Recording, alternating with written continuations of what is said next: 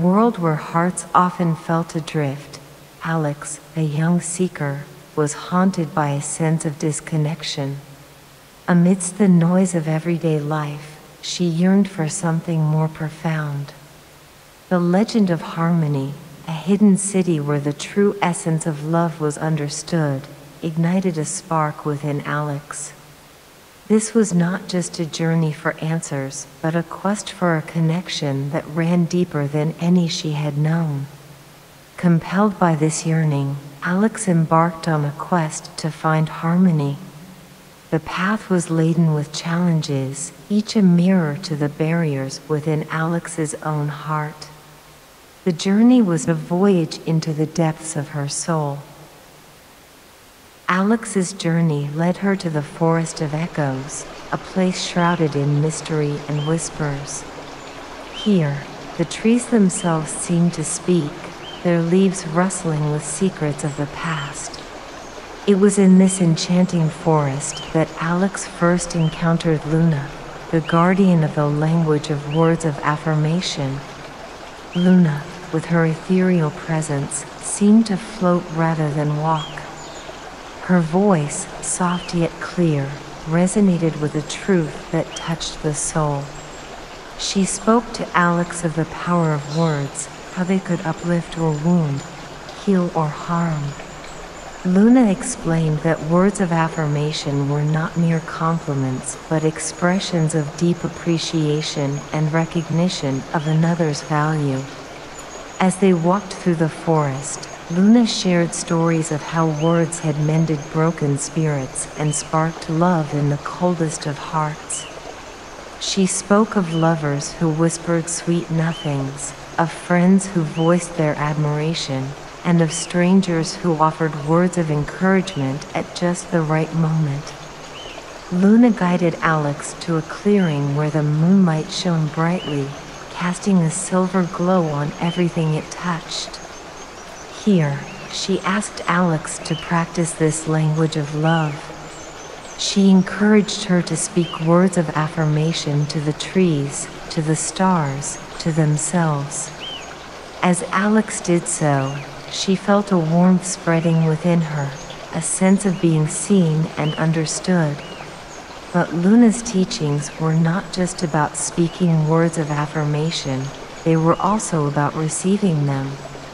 She taught Alex to listen, to truly hear the words spoken to her, and to let them sink in, to believe in their truth. As the night deepened, Luna's final lesson was about the sincerity behind the words. Words of affirmation must be genuine, she said. They must come from a place of authenticity and love. Only then can they truly touch another's heart. With these lessons etched in her heart, Alex knew that her journey in the Forest of Echoes was complete. But Luna's teachings were just the beginning. There were more languages of love to learn, more secrets to uncover on the path to harmony. Leaving the Forest of Echoes behind, Alex ventured into the Grove of Service. This tranquil place was tended by Soul, a being whose every action was a testament to love.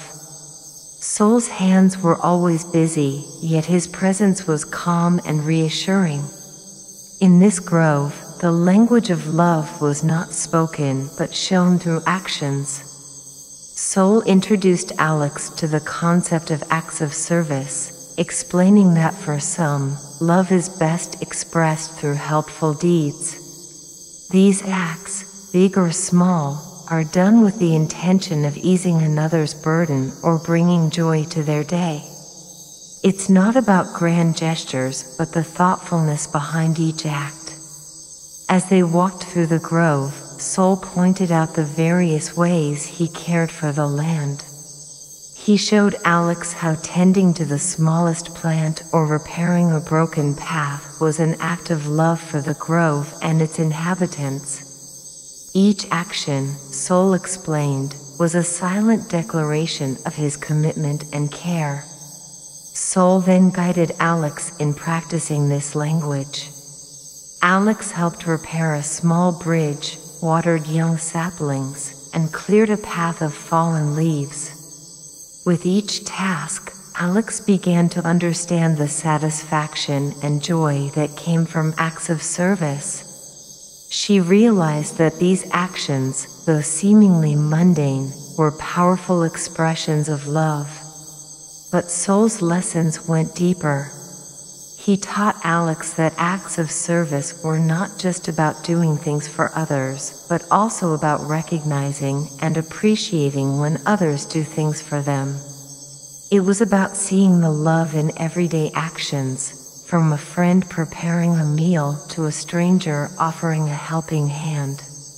As the day turned to evening, Sol shared one last insight. Acts of service, he said, should be given freely, without expectation of reward or recognition. The true joy lies in the giving, in knowing that you've made someone's life a little easier, a little brighter. With a heart full of gratitude, Alex bid farewell to Sol and the Grove of Service. She carried with her the understanding that love could be a quiet, selfless act, a language spoken through deeds of kindness and care. Leaving the Grove of Service, Alex's journey led her to the shores of the Lake of Gifts. Here, the guardian Zephyr awaited, a sprite filled with boundless joy and laughter. Zephyr's eyes sparkled with mischief, and she greeted Alex with a playful twirl. In the language of love, this place was dedicated to giving and receiving gifts. Zephyr explained that some souls express their love through tokens, be they simple or elaborate. Gifts symbolize thought and effort, conveying love and appreciation in tangible form. Zephyr's collection of colorful trinkets lined the shore. They told stories of love exchanged, of moments celebrated, and of connections strengthened. Each gift was a chapter in the grand story of love.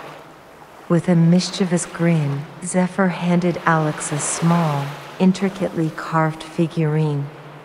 It was a gift, a token of their encounter. Zephyr encouraged Alex to examine it closely, to feel the craftsmanship and the intention behind the gift. Alex held the figurine, understanding that it was more than an object, it was a gesture, a piece of someone's heart. Zephyr explained that the act of giving a gift was an act of love, a way of saying, I cherish you, and I want to bring joy to your life. But the Lake of Gifts wasn't just about giving. Zephyr emphasized the importance of receiving gifts graciously. It was a way of honoring the love and effort someone put into selecting or creating a gift.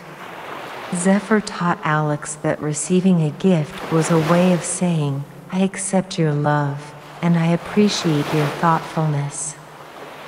As the sun dipped below the horizon, painting the sky in hues of orange and purple, Zephyr led Alex to a quiet spot by the lake. They sat together, watching the ripples on the water and sharing stories of gifts given and received. Zephyr's laughter echoed across the lake, filling the evening air with a sense of pure joy. Before parting ways, Zephyr offered one last piece of wisdom. Remember, she said, gifts need not be extravagant. It's the love behind the gift that matters most. A simple flower, a handwritten note, a shared moment, these can be the most precious tokens of love. With gratitude for this lesson, Alex left the Lake of Gifts the carved figurine a cherished reminder of the beauty of giving and receiving in the language of love. Having learned the importance of words, actions, and gifts as languages of love, Alex ventured further on her journey. She found herself at the entrance of the Cavern of Time, a place where moments were measured not in minutes but in heartbeats. Here, the guardian Terra awaited, a figure of graceful strength. Tara moved with deliberate and unhurried motions, as if in harmony with the very rhythm of the universe. Alex approached Tara, feeling the presence of time itself. In the language of love, this realm was dedicated to quality time. Tara explained that some souls expressed their affection through undivided attention and shared moments. Tara led Alex deeper into the cavern, where the walls glistened with the reflections of countless shared moments. In this place, time was not a commodity but a gift, freely given to those who cherished it. Alex learned that quality time wasn't about the quantity of minutes spent, but the quality of presence offered. It was the act of being fully engaged, of listening with the heart, and of sharing undistracted moments of connection. As Tara guided Alex through the cavern's winding paths, they came across a serene garden bathed in soft, golden light. In this garden, individuals sat together in quiet conversation, their eyes reflecting the depths of their connection. Tara invited Alex to sit in the garden, offering a seat next to a wise elder who shared tales of a life well lived. The elder spoke of moments spent with loved ones, of laughter under starlit skies, and of the profound beauty of a shared silence. Alex listened intently, understanding that quality time was not limited to grand adventures, but found in the everyday moments. It was a shared cup of tea, a walk in the rain, or a quiet evening by the fire. It was about being present, fully engaged in the experience of togetherness. As the hours passed, Tara guided Alex to a tranquil pool within the cavern. The pool's surface shimmered with reflections of countless moments. Tara encouraged Alex to gaze into the pool, where they saw their own reflection alongside the reflections of those they loved. In that moment, Alex realized the depth of quality time. It wasn't just about being present for others, but also for oneself. It was about self care self reflection, and self love. Tara taught Alex that by nourishing her own soul, she would have even more to offer in her connections with others. With gratitude for this profound lesson, Alex left the cavern of time, her heart filled with the understanding that the most precious gift one could give or receive was the gift of time and presence. Alex's journey through the realms of love continued as she followed Tara out of the cavern of time and into the open expanse of the mystical world. Her path led her to a breathtaking place known as the Meadow of Embrace. The air in the meadow was filled with a sense of warmth and comfort. Gentle breezes carried the scent of blooming flowers, and the very ground seemed to radiate with a soothing energy. It was here that Alex would learn the final language of love, physical touch. In the distance, Alex spotted a figure with an aura of nurturing kindness. This was Aura, the guardian of the Meadow of Embrace. Aura welcomed Alex with a serene smile and an outstretched hand. Physical touch, as Aura explained, was a language that transcended words. It was the language of comfort, presence, and connection. It encompassed everything from a reassuring hug to a tender caress of the hand. Alex watched as Aura moved gracefully through the meadow, her touch bringing comfort to the beings that inhabited this realm. Here, every touch was a testament to love and compassion. Aura guided Alex through the meadow, inviting her to experience the power of physical touch firsthand. They approached a small gathering of individuals, each engaged in a different form of tactile connection. One pair sat by a tranquil stream, their feet immersed in the cool water as they shared stories of their lives. Another group engaged in a dance, their bodies moving in perfect harmony to the rhythm of nature. A third pair simply sat together beneath a tree, their shoulders touching as they gazed at the horizon. Alex understood that physical touch was about more than just physical contact. It was about emotional connection. It was the power of a hand on a shoulder during a moment of vulnerability, the warmth of an embrace that conveyed safety and acceptance, and the simple act of holding someone's hand to let them know they were not alone. As Aura led Alex further into the meadow, they came across a tranquil pond. Beside the pond, individuals floated on the surface of the water, their bodies gently supported by its embrace. It was a scene of serenity and surrender. Aura encouraged Alex to join in this act of floating, to experience the profound connection that could be achieved through physical touch. As Alex floated on the surface of the pond, she felt a sense of weightlessness and security, as if the universe itself was cradling her. In this moment, Alex realized that physical touch was not limited to the external world. It was also an inner language, a way of nurturing and soothing one's own soul. The gentle touch of self-compassion and self-care was just as essential as the touch shared with others. With gratitude for the lessons learned in the meadow of embrace, Alex left the realm of physical touch with a profound understanding of its significance. She knew that this language of love was a bridge that connected hearts and souls, transcending words and transcending time. With each step of her journey, Alex had delved deeper into the languages of love. She had experienced the power of words of affirmation, acts of service, receiving gifts, quality time, and physical touch. Yet, she knew that there was still a journey within herself, a path to uncovering her own barriers to love and connection. As she left the meadow of embrace behind, Alex felt a sense of introspection settling upon her.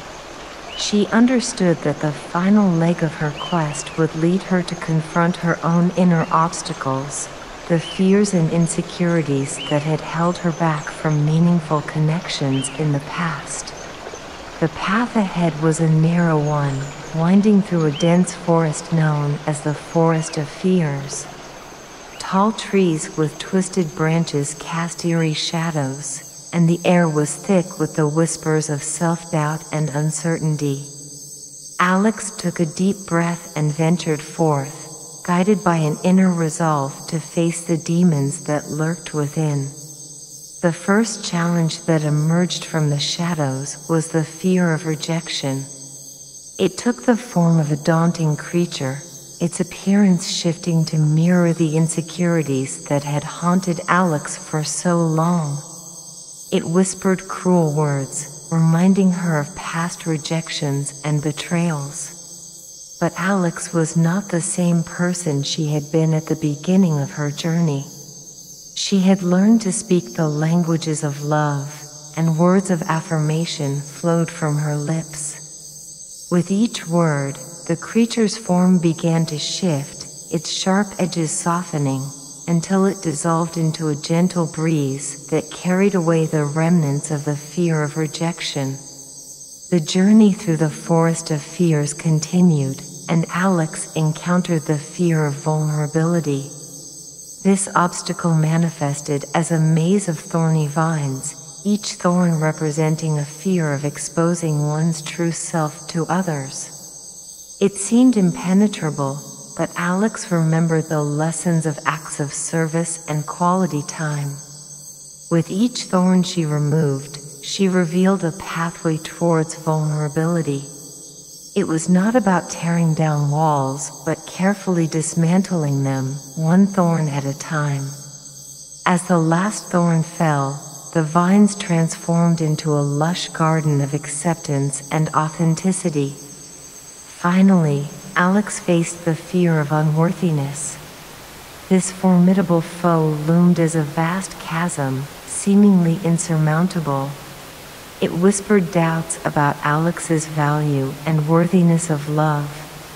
But Alex had learned the language of receiving gifts, and she reached into her heart to find the most precious gift of all self love.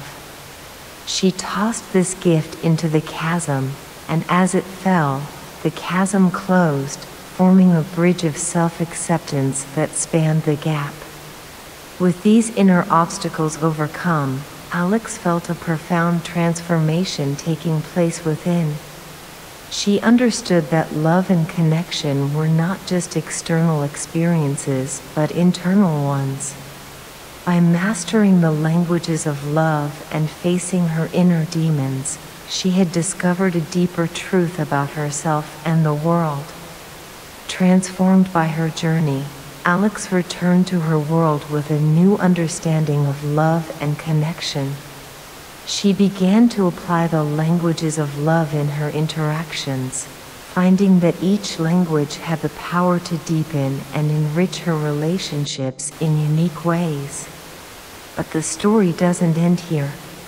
Alex's journey had sparked a change, a ripple that extended beyond her own life.